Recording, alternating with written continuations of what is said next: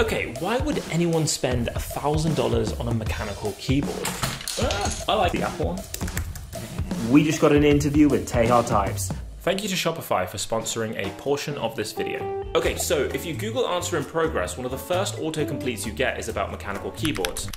Oh, it, it, used to be, I promise. Sabrina's got one, I've got one, Melissa's got one, and I like my mechanical keyboard, but I don't actually know anything about mechanical keyboards. I just Googled keyboards and bought one that looked nice. Turns out it was a mechanical keyboard and it is nice to type on. But I'm not alone in my newly discovered love of mechanical keyboards. It seems like more and more people in recent years are buying mechanical keyboards. And recently on my travels on the internet, I came across these channels, forums, websites dedicated to customizing mechanical keyboards and building luxury mechanical keyboards. I also saw that some of these keyboards were going for thousands of dollars. So what's the fascination with this old-fashioned technology? Why is it coming back into popularity? And most importantly, why would someone spend $1,000 on a keyboard?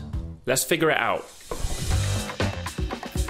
So, there isn't a book I could just read about mechanical keyboards to make an elaborate book report. And in my research, reading articles and watching YouTube videos, I was able to learn the technical terms in the hobby, but I felt like I was still missing something. I feel like just by doing some Googling and searching online, I haven't really been able to find what's at the heart of this mechanical keyboard hobby and also what makes people really enthusiastic about mechanical keyboards and spend a lot of money on a good mechanical keyboard. So, I have a plan. It's a very complicated plan, it's a very ingenious plan, and it's one that no one has ever thought of before. I'm gonna ask someone. I get a lot of comments of people saying, oh, I watched one video of yours and thought nothing of it, and then six months later I've got 10 keyboards. And I'm kind of like, Sorry? This is David, otherwise known as Glarses. He has a YouTube channel where he builds mechanical keyboards and generally causes chaos. Oh, screw it. Congratulations. First of all, if you recognize this place. Hey friends, welcome back to the channel. No, you don't. So I thought we'd start with looking at my keyboards, the ones that I've had so far, getting your impressions of them, seeing what you like, what you don't like. My first keyboard was the Apple one, you know? I like it. There is like no travel here. It's like you're tapping on a billet of aluminium. I like that it's tactile. So, so what is tactility? It's like the little pop that you get when you. It's like that little that feedback you, you feel when you press down, the little bump that usually aligns with when the switch actuates. So I like that, but besides that, I hate everything else about this. Yeah, well, I like it. That's all that matters. No, that's not true. So my first mechanical keyboard was this one. Mechanical switches. Let's actually see what they are. Cherry Reds, like 75% layout as well. Everyone in my house complained because it was really loud. Oh, this is loud. This was loud. I think my standard for loud is. So I went from that to this, you know, a little quieter, and no one in my house complains anymore. Okay, so, so problem solved. Problem solved. So we're done. Okay. Yeah. Stabilizers are a little bit better. Um, they're still um, So still not a fan. Still not a fan, okay. but I like it more. That's the end of my keyboard journey. Mm -hmm. And so now... This is the start of your keyboard journey. And so you've got some keyboards that you want to... Whoa. Okay, so it's... oh, it's really heavy. It's got a two-piece aluminium case, and inside it has an internal brass weight. Ooh, okay. I don't know what these are called, like the non-square... So these are the modifiers. These are called modifiers. The non-square ones feel a lot better. We'll keep it going. Okay, okay. this is a linear, mm -hmm. and then this is a tactile. Mm-hmm. It's kind of like bubble wrap. That's actually not a bad description. Like you kind of have to build up to it, and yeah. it just collapses in it. So it's difficult to explain like the feeling of, of things on. it camera. is, isn't it? Yeah, the, the space bar is so nice. That's sick. I love this. This is the next one. Wow, this is really quiet. Dressed up as that one. oh, every single one I'm like, wow. this doesn't have any of the keys. This is like half a keyboard. Oh, this is a 60%. So this is the Cherry MX Browns. Mm -hmm. I think the thing that I'm most impressed with by mm. is just the space bars. It's such a world of difference from like... Horrific. I feel like a hipster. I love the, the look of this one. I would feel that like my fingers would get tired after a while of these. And then you just have this one MP. I can now understand now that I'm here, they feel different, so I have a different like response to them. This is an SGI Granite. Okay. Instead of MX switches, these have out switches. And these are switches that don't exist anymore? Oh, these are really nice. I feel like the secretary in Monsters Inc. That's, I'm that's, watching that's, you, Wazowski. How do I how do I how do I get into this? Because I've clearly been doing something wrong in that like all of these come from a custom kit. In the hobby when we say a kit we basically mean it's a case, a PCB and a plate, and you then buy your own stabilizers, switches, and keycaps, and you basically build that keyboard from the ground up. Okay, so keyboard. Yeah, I want to use this keyboard afterwards. Ah. Okay, so mechanical keyboards are made up of a few key components. You've got the uh, PCB, the casing, the plate, which kind of make up the brains and the body of the keyboard. The casing sort of houses all of the components, while the PCB is the actual electronic circuit that communicates with your computer. Every time one of the switches is pressed down, it completes a small electronic circuit which sends a signal to your computer to let it know that one of the keys has been pressed. But then you get to the more exciting parts of a mechanical keyboard, the keycap and the key switches. The keycap is what you would normally think of when you think of a key in a keyboard. And learning more about this, you can get these in a variety of different shapes, sizes, materials, basically anything that can be customized can be customized about a keycap. There's even a thriving community of artisan keycaps, which are one of a kind sort of unique art pieces that you can have as keycaps. And in the process of researching this video, I did order some new keycaps which was fun. And in the process of ordering that stuff, I ended up discovering this app by the sponsor of this video, Shopify. So I decided to ask them if I could just talk about the app instead of doing a normal ad read, and they said yes, so now I'm just gonna do that instead. If you haven't heard of Shopify, it's a platform, you can build an online store, it's very intuitive, there's templates, it's drag and drop, it's really good.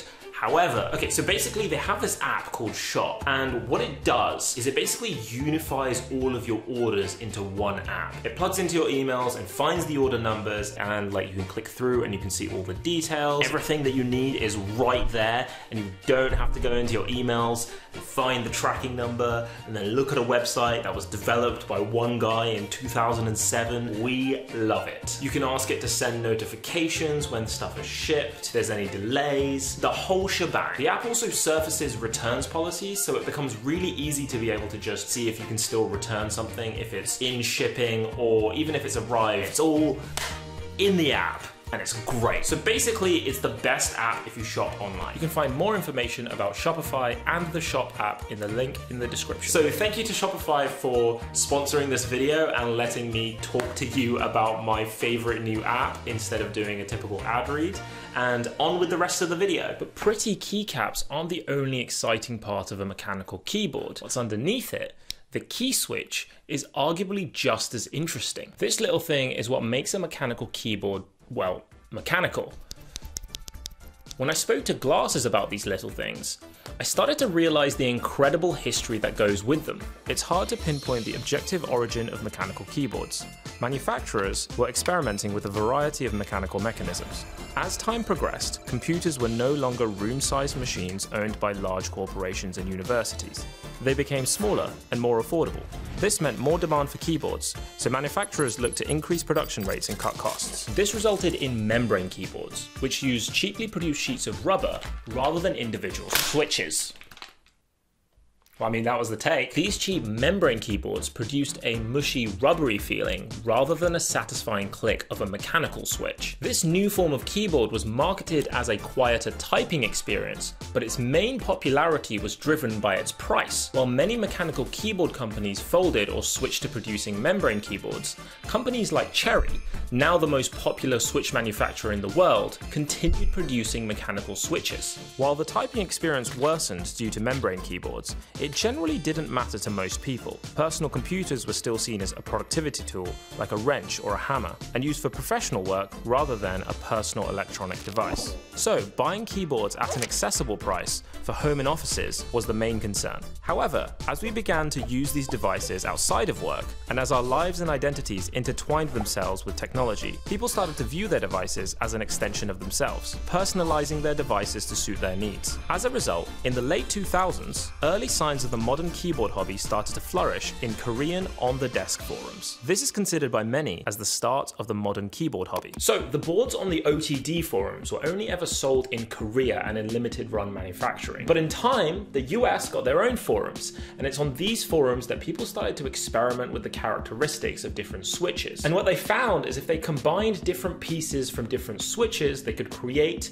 a Frankenstein switch. Ooh. And it's from this type of experimentation that we got fan favorite Frankenstein switches, like the Holy Panda. So the Holy Pandas started off as a Frankenstein switch where people would have to take two different switches and put them together to make them. But because of their popularity, people started to manufacture the specifications of a Holy Panda as one whole switch. The creation of Holy Pandas, I guess, accidentally created the switch that everybody wanted to try. One of the main sound tests and ways people probably heard of a Holy Panda, as I kind of mentioned, was mine as well, was the Taeha Type sound test, which was his Fiel with Holy Pandas. So much so that most people say, you know, you watch this video once and you're done, you know, you're into the hobby, into the rabbit hole.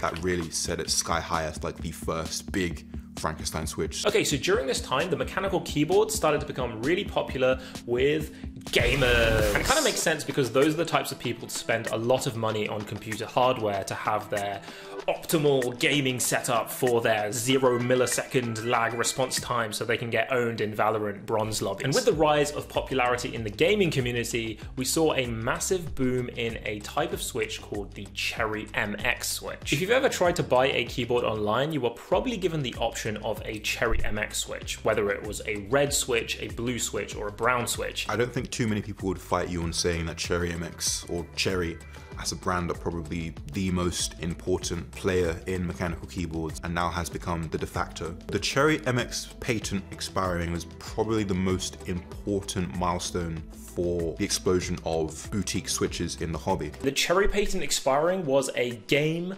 changer, an environment modifier, a different gravy. Because now that the original patent had expired, you could take the original design and you could modify it and remix it, and then you have a new switch built different. And this caused the rise of new manufacturers such as Gateron making new switches in the Cherry MX style, without getting sued, which is always good, I guess. But also we saw the rise of smaller community vendors such as Zeal and Novel Keys. And so we got this whole new wave of innovation of people making modified Cherry MX style switches. People really liked the Ergo Clear, but didn't like the effort you had to go to make them. You know, you needed two sets of keyboards or you needed to open it and put in a spring. And Zeal basically said, okay, I'm gonna go make the first manufacturer community made custom line of switches. That switch was so, so, so important because it was the first Switch that was community made. And now we get to the craziest part of this whole story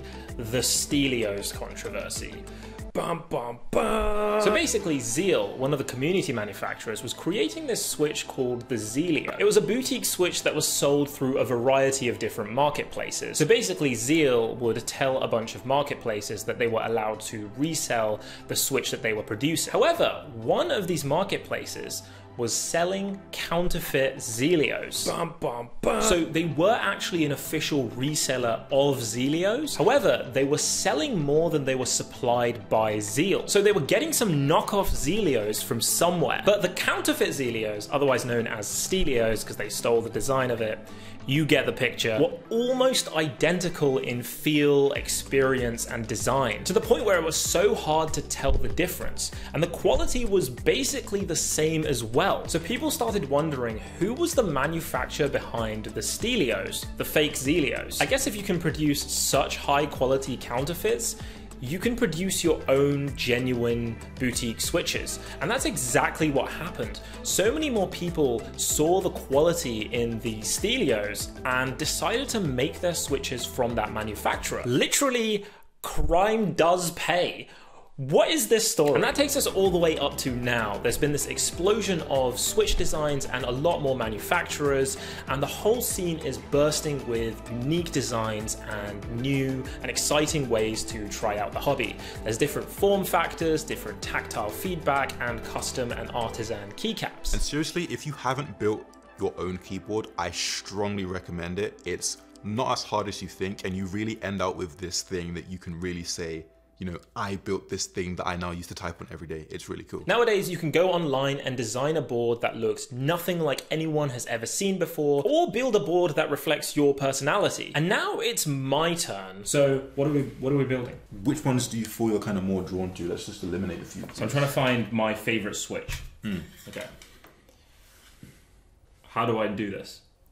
uh, you type on them, and then you type on them some more, and you keep typing on them until there's one that just shines above the rest of them. I'm like hypnotized by the sound. it's good, isn't I was like, uh, this sounds like walking on snow in Minecraft. I think this one's gotta go. I'm gonna get rid of this. It's just not satisfying with fire. I think honestly, this is the better feeling key- keyboard for me. This is like popping bubble wrap all day, and that is a very nice feeling. So I think I think I'm gonna go for this one as my The final. winner. Yeah, I mean, I guess the closest thing we can build to a keyboard then will be these holy pandas, which Ooh, these are the holy pandas I've been hearing so much about. Okay, if I'm honest, they just look like any other Switch to me. I'm excited.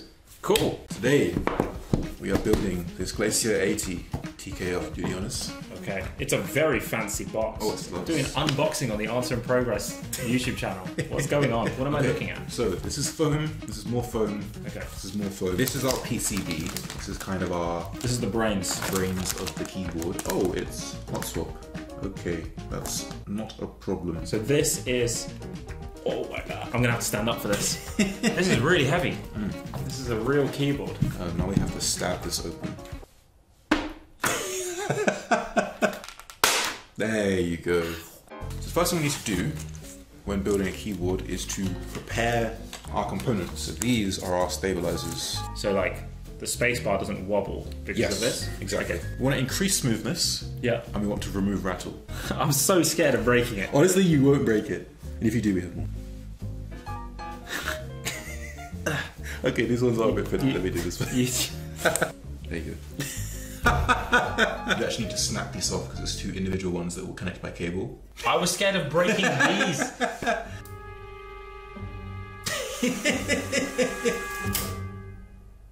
There you go. Now this is the fun part. We get to put a switch on. What exactly are we doing? So I- I'm just pressing a button. I'm pressing it make sure it feels consistent throughout the press. Make sure there's no like ticking on the edges. So this will probably be the part where you speed up 14,000%. I think it would be funner if you just cut on every. Like, just like. It's the last one. Mm-hmm. Done. Jeez. Completed keyboard, guys. Yeah. Uh, mm.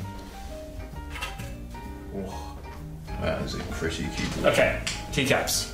Eight, six, seven, eight. It's actually 789. Oh, It's the wrong 8 also. Oh. It's the numpad Well, 8. I tried. Q W E R T Y. I, I, I have B and I want to put it next to A. So I think these are the real the real winners.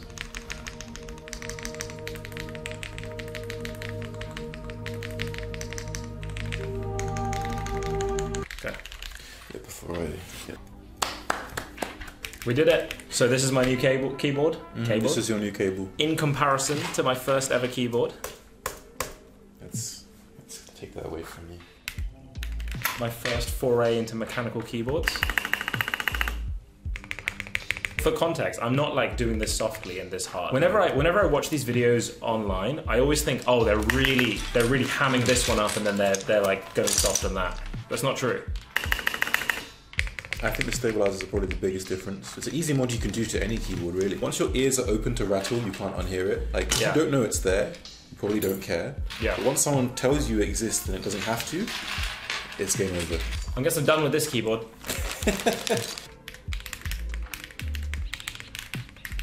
Do you know why I typed? Please subscribe to the Glarses channel. I actually did type. Thank you for watching. Please subscribe Oh, to the Glarses channel. Thanks for thanks for doing this. no worries. Thank you for having me. This was fun. Yeah. Can I keep this? Yeah, sure. Just pay me uh, the amount for the keyboard and we can, you know, How, how much is this keyboard? probably like $650. Wow. Yeah. Okay. So be sure to subscribe to our Patreon. okay, I was just about to finish work, but then I got an email from the king of mechanical keyboards himself. We just got an interview with Taeha Types. Oh my god. Hello, how's it going? Hi, nice to meet you, Taha. This is Taeha Types, arguably one of the most influential mechanical keyboards creators on YouTube. He has sound tests for seemingly every Switch on the market and has built luxury mechanical keyboards for the likes of Lily Pichu, Dave 2D, and Tfue. So basically, I've been on a mechanical keyboards journey for the last month or two. Okay. Um, oh, so you're really fresh. I'm really fresh, yeah. Here's like the central question of the video. This is where I started from. Why would anyone spend a thousand dollars on a keyboard? yeah, I think something that I've just come to realize is there are certain things in my life that I use quite a lot. I have a Herman Miller Aeron chair, and most people would say, you know, why would you spend that much on a chair? But like if you think about it, at least for me, I'm sitting on a chair, you know, more than half of my day sometimes. So why not invest in that? And as someone who does, you know, spend their time in front of a keyboard for many hours a day, I'm constantly typing. Um, I, I think it is people used to not think of the keyboard as something that could be invested in, but with with the recent uh, popularity that this hobby has seen, I think many many of us are starting to realize, you know, the keyboard can be something that's pleasant. I definitely didn't realize how much of a difference the the custom mechanical keyboard or even a modded mechanical keyboard is from just off the shelf mechanical keyboards. The keyboard hobby is just one of those hobbies where you have to try it in person to really understand, I feel like. Like no matter how many videos you watch, like no matter how many sound tests you listen to, nothing really beats trying it and experiencing it in person. I kind of went through what you went through too. After I filled my first one, I was like, okay, this is addicting. I, yeah. I see why people spend a lot on their keyboards. Why do you think the hobby is like exploded in popularity? I mean, I think my Tfue video definitely helped. He is still probably one of the biggest names in esports. I, th I, think the pandemic hit three or four months after my Tfue build came out, and everyone started to work from home. And I, I think people overall were just consuming more content during the pandemic. Uh, people started to care about their work setups, I guess, because everyone's working from home. They want to treat themselves a little bit. Everyone's socially deprived. They're trying to feel something through retail therapy. So uh, uh, I think the pandemic for sure also played a great part in the recent rise of the hobby. I think also, I think there was a lot of people during the pandemic who had never ever thought about a work setup. Like they'd right, always right. worked in a library or in mm. an office. It's an interesting time for newcomers. I, f- I feel like it's both a great and a bad time for people trying to get into the hobby at the moment. The hobby's kind of going through uh, growing pain phase as everyone's trying to scale up to accommodate for this influx of demand. There is that customer experience aspect that might rub people the wrong way. Uh, one, of, one of the first confusing terms you might hear in the hobby is uh, the word group buy and that's what the hobby operates on largely still. You can think of a group buy essentially as kind of a Kickstarter or Indiegogo project. Basically, individuals in the hobby essentially putting out a project idea. We're not mass producing these keyboards, right? It's individuals running their own projects. It can take months, sometimes years. We are seeing years timelines now at this point for certain projects. You need to have a lot of patience in this hobby you should expect at least half a year minimum just to call it safe as of now. What do you think is the future of the mechanical keyboard hobby? I think there's still a ton to be explored with switches. Everyone is still so hooked onto the Cherry MX design style. I think it's going to be interesting to see the new types of switches that come out, for example. I mean, I'd love to see crazier keyboard designs. I mean, who knows? Maybe we'll have like an SD card reader or extra USB ports on a keyboard one day. Uh, meetups. Maybe now's not the greatest time to advocate for meetups, but like I get a lot of questions saying like, oh, like where do you find these meetups? Like how do I go to a meetup? Honestly, like if you have an interest in running a meetup, I would say go for it. Everyone's just looking for someone to take that initiative. So if there are no meetups in your area that you know of, like feel free to organize something. Like it's still a very friendly and community oriented hobby. Meetups sound really exciting. Like I've never been to a meetup. Yeah. The only person I've met who's interested in mechanical keyboards is Glarses. Um, uh, you kind of had a me- mini meetup there too. Yeah, yeah. You know, I guess I never really thought about going to a meetup. It was like, oh, meetups sound really cool, but yeah, it's probably for it's probably for people who know about keyboards. That I mean, that was me too. I mean, it feels it still feels nerdy to say I'm going to a, a keyboard meetup. but I, I, think the first one that I went to just really left a nice impression on me. Just like how friendly everyone was, just being able to try and even like just touch all of these nice, pretty products that I've been seeing online. Hopefully, if the once the world opens up more, we'll have more of those. But if you can go to a meetup, highly recommend you do. Meetups are probably the greatest, the next big thing for uh, raising even more awareness of the hobby. Okay, so in the process of making this video, I've been trying to figure out how to explain why the mechanical keyboard hobby is so appealing. And I think it's everything that everyone has mentioned already. It's the fact that you can build a keyboard that is completely unique to yourself, but it's also the fact that a custom mechanical keyboard is just so much better than anything you can find off the shelf. And with how digital our lives are and how much time we spend at our computers, having a lovely keyboard that looks and feels like yours has brought a small joy into a part of my life that is usually so mundane. But honestly, it's been really hard to describe to people why this hobby is so appealing. But once you put a custom mechanical keyboard in front of someone and they type on it, I think you get it immediately. Everyone I've shown my keyboard to has said, yeah, I get it now. But also just personally, with technology becoming increasingly proprietary and sealed off, and with big tech companies consuming basically the whole of the technological world, seeing the mechanical keyboard hobby remain a small community of designers, hobbyists, and enthusiasts just making keyboards because they love it has been a breath of fresh air, and I think